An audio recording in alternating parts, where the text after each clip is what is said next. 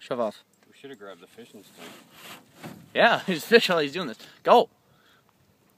Alright. I'm gonna try and stand up. Good luck. Ah, ah.